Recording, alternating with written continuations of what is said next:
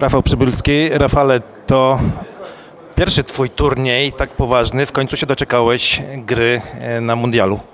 Tak, od pięciu lat przeszedłem wszystkie przygotowania i, i w końcu się doczekałem e, swojej szansy, jaką dostanę we Francji i, i myślę, że dla mnie to będzie tylko na plus i zbieranie takiego doświadczenia na takiej imprezie, jaką są Mistrzostwa Świata, to jest dla takiego zawodnika jak ja coś wspaniałego. Właśnie, ale jak się czujesz przed takim wyzwaniem i też, no jakby można powiedzieć, w roli debiutanta na takiej imprezie? No myślę, że czuję się dobrze fizycznie, psychicznie. Na razie jeszcze nie, nie, nie, nie tak jakby nie myślę o tym, e, że to są mistrzostwa, że to jest e, tak wielka impreza. Myślę, że z każdym dniem coraz bliżej, gdzie będzie do tego dochodziło, dopiero będę rozmyślał o tym, a, a, a na chwilę obecną czuję się dobrze.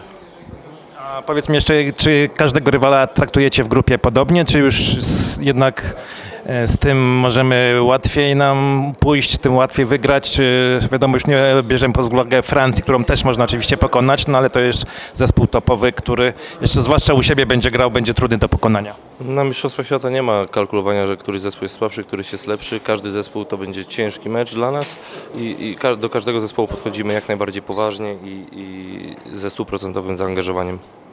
A jakby byś miał powiedzieć pierwsze skojarzenie z mundialem we Francji, to co to miałoby być? Jak najlepszy wynik i, i jak największa liczba meczy wygranych. Dziękuję bardzo.